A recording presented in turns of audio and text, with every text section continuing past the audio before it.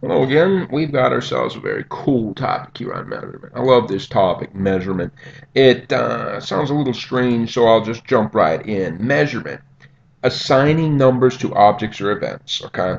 Um, it's anything that can be observed can be measured, all right? Um, you can measure anything. You can quantify anything. Um, I, I tend to be very good at measurement, tend to be very good at quantifying things Okay.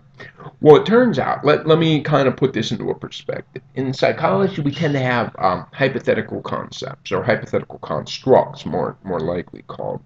Hypothetical constructs are um, love. okay. Let's pick a different one. Happy. Happiness. Okay. Happiness is a hypothetical construct. It's imaginary. It's made up. It's fake. It doesn't exist.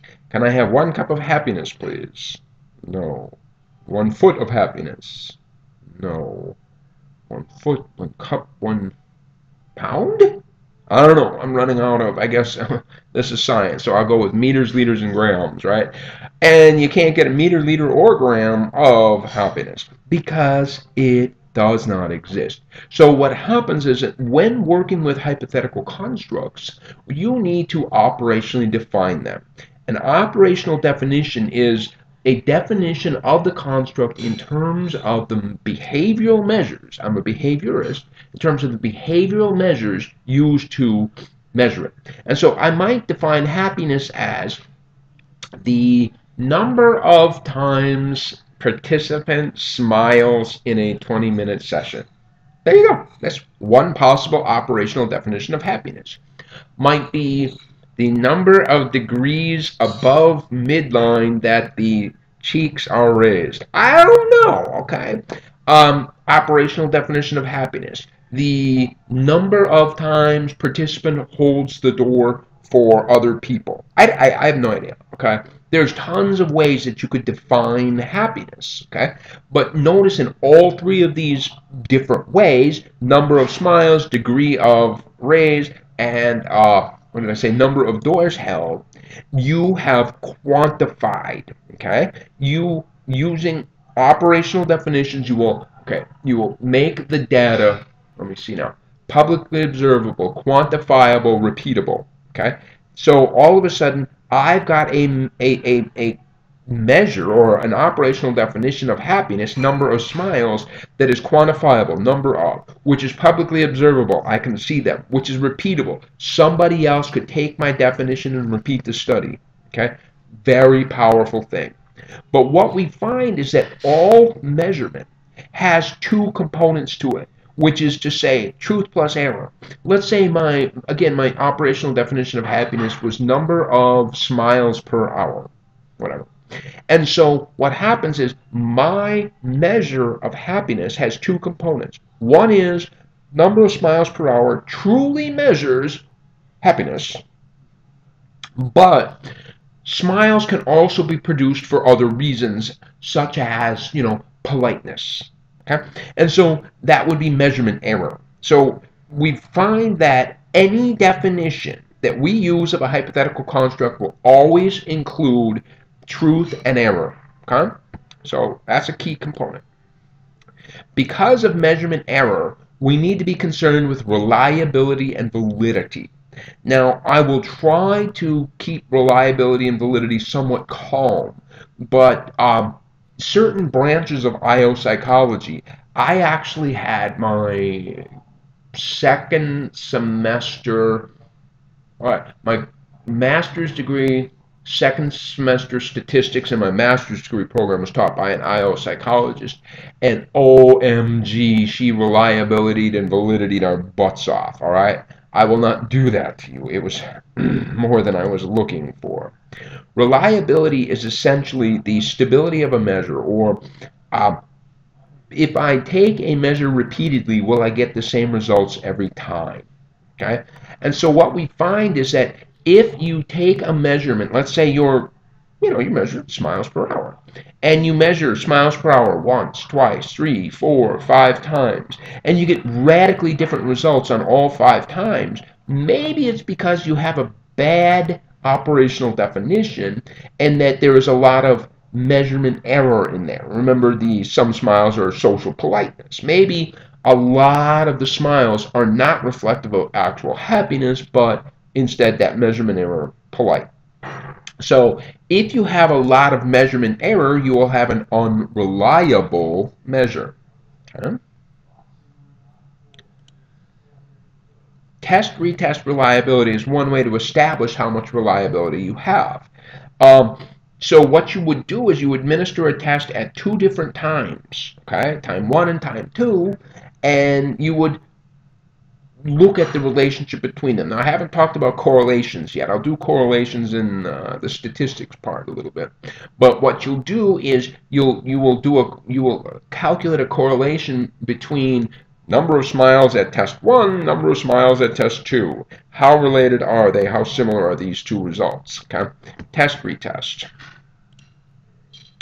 Another way. Uh, what is this? Oh yeah, this is yeah, feel free to go for it. I'm describing my own ways, but it, it's essentially saying the same thing. If you have high reliability, then the uh, construct that you have defined it contains little measurement error. That's what it's trying to say, but it's funky words. Parallel forms reliability is, is sometimes a lot harder to do. And so that is, you might give somebody two different versions of the same test. Um, it's it's sometimes difficult to do because um, how do you know that two forms of a test are equal to each other? It's kind of it's limited to certain situations. Inter-rater reliability. This is pretty powerful. I mean, let me look at this picture. There you go. Um, the extent to which multiple raters or judges agree on something. Okay, and so what we find is you take a look. Look at that. You've got a little thing like maybe these are judges in a diving competition or something like that.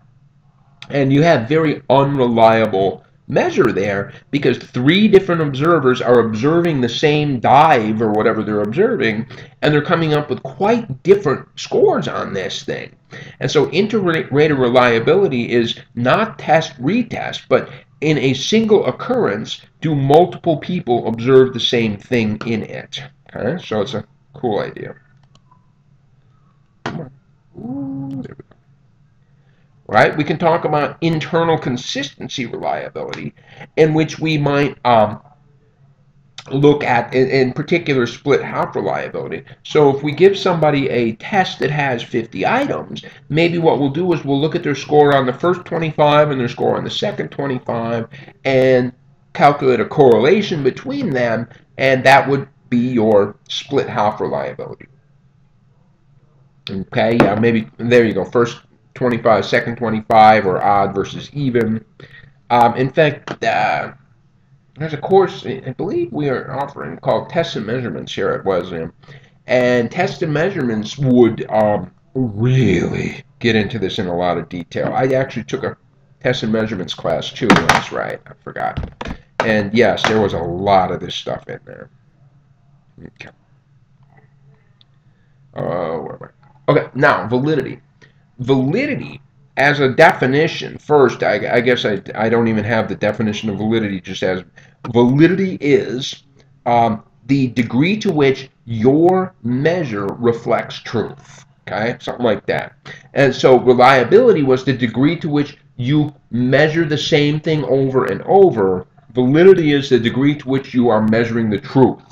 Okay? Because just because you're measuring the same thing over and over and over does not mean you're measuring the truth. Okay? That's a pretty critical idea. So, construct validity is the extent to which a test measures the under, underlying construct it was intended to measure, right? Remember the construct was happiness and my test was smiles per hour, something like that. Okay? Um, there you go, hypothetical construct, etc. Okay. So we find that there are two main ways to demonstrate construct validity, content versus criterion. Content validity is the degree to which a test covers, uh, blah, blah, blah, blah, blah. There it is. Uh, not a great measure. It's not quantitative. I don't like non-quantitative measures. Criterion is much more important. The degree to which a test is a good predictor of. So in, in uh, criterion-related validity would be like, um, is my measure of smiles per hour allow me to predict other things that I think are related to happiness, such as, um, in fact, happiness often is correlated with different uh, hormones. And so, does my measure of smiles per hour predict the hormones that are associated with happiness? Something of that nature predictive versus concurrent. So the two different types of criterion related validity are predictive and concurrent. And I just mentioned, well, in fact, I could do it in either way. Um, I could say in predictive validity, I could say, for example, does my measure of smiles per hour predict how much um, happiness hormones, I guess it'd be oxytocin or something, but others as well, um, how much happiness hormone you have in a week or something like that. Concurrent validity is would my uh, measure of smiles per hour predict how much of these hormones you have right now. Okay? So one is predicting future, one is predicting current. And again, this is the same type of a an idea, something that has high validity. You see it has essentially parallel lines. Each one of these lines represents um, an individual person. Okay? And so here they were looking at predictive validity, a cognitive ability score, and job performance. So in other words, an IQ test score and job performance. So I'm looking at the top one. In other words, those that are scoring higher on the cognitive ability score tend to score higher on job performance. And we see it fairly well maps across like this, right? There's a little bit of cross there, but pretty good. So it's high validity. But you see in the bottom example, those that score high on the cognitive don't necessarily score high on the job, right? And so we find that the top one has high predictive validity, the bottom one has low predictive validity. And I, I guess I'm going to make a flash forward here. Why is this important? Because if you have spent the money, you are, yeah, this is IO psychology, right? So you are the head of the human resources and you've given a job applicant a cognitive ability test, an IQ test, it costs you money, it costs you time.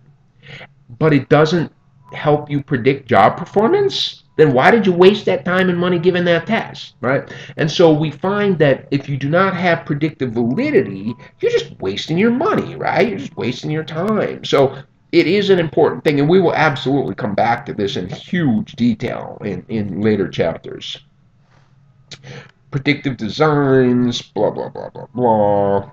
Yeah, feel free to read that. That's sounds like fun to me. Um, and then concurrent, we already described that. And so there's a nice little table to lay it out for you.